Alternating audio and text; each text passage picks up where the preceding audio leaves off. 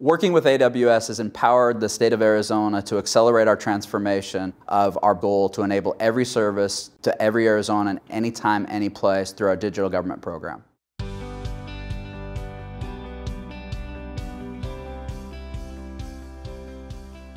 My name is Aaron Sandeen. I'm the CIO for the state of Arizona.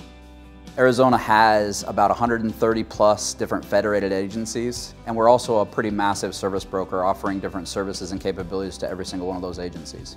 There are over 32,000 employees of the state, and there's about 6.6 million citizens of the state. One of the biggest challenges that we have in state government is continuing to support infrastructure and keep infrastructure updated. We've got over 2,600 different servers in the state. 53% of those are over five years old. And it's just hard to get support sometimes and prioritize refreshing infrastructure.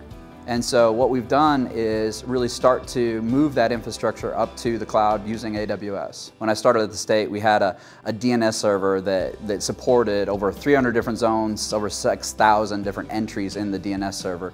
And so that means any application or website is routed through that DNS server as a centralized piece of infrastructure. And about a month after I started, it failed. That's when we really started to look at Route 53 for Amazon.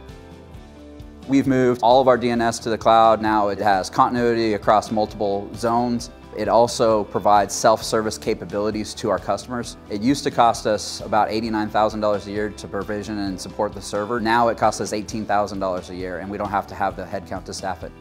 Because we're a service broker for many different state agencies, there's multiple different funding sources, and each funding source has very specific requirements. Some federal money cannot be used for capital expenditures, and so we can't use that to buy new equipment. So if you buy a particular piece of infrastructure to support one program, you can't use it for a different program.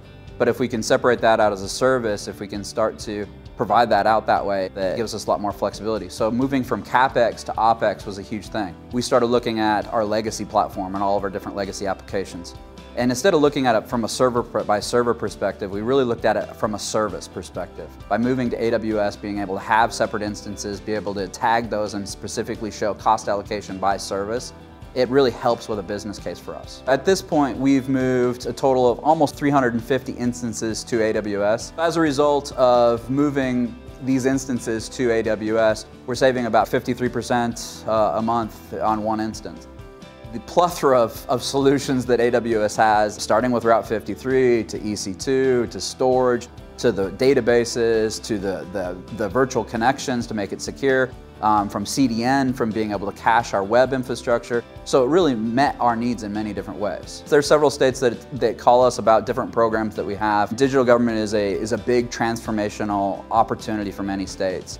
And when we talk with them, we tell them all the time about how we've gone through this transformation, how we've gone through this journey, how we use AWS as our infrastructure, as a platform, how we continue to build on that, how it gives us so much flexibility to be transformational, to even be disruptive in, in how we're trying to solve those problems. And working with AWS is absolutely critical for our success.